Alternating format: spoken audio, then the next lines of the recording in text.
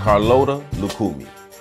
In the early 1800s, a young girl named Carlota was kidnapped from her Yoruba village in Nigeria and transported to Matanzas, Cuba.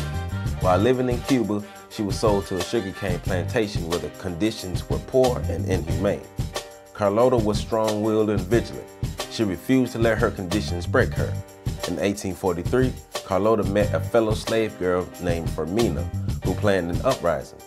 Carlota was willing and able to help Fermina raid the plantation to gain their freedom. Unfortunately, the plantation owners learned of Fermina's plans. She was beaten and locked in jail. Carlota was not deterred by Fermina's incarceration. She used the talking drums to communicate to the others of her plans. The slaves would often use their drums as a safe way to communicate to each other. Using the drums, Carlota organized a raid on the plantation, which helped to free Fermina and others from the jail. On November 5, 1843, it is said to be the date the slaves led by Carlota launched their year-long raid against the whites and plantation owners.